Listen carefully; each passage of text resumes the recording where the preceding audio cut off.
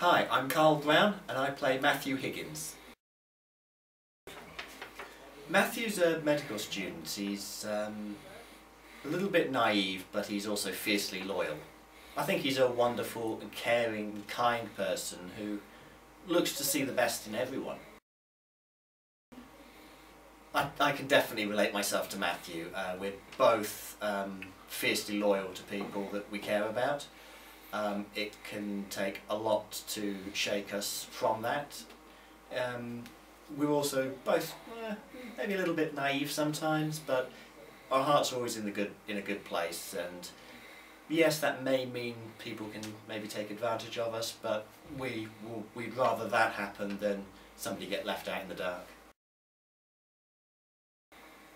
I looked over uh, to prepare for the part. I looked over each script as it came in and decided um, what uh, Matthew would do in that situation, how Matthew would react, because at times it's going to be different to how I would react.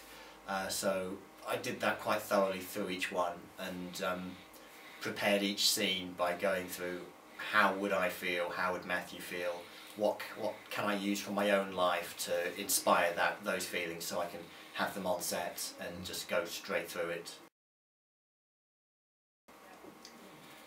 What I like about Matthew is he is his loyalty and his um, just general demeanour. He's quite upbeat and quite happy.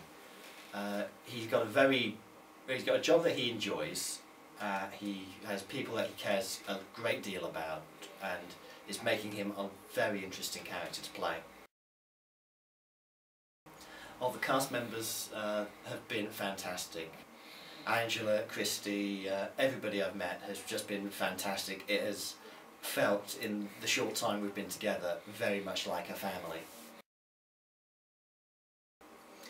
Filming so far has been uh, an experience. Uh, the best part about filming Meadowlark, though, is definitely the catering. the food is fantastic. Please show your support for Meadowlark by liking us on Facebook, Twitter and YouTube. You can find all the links below.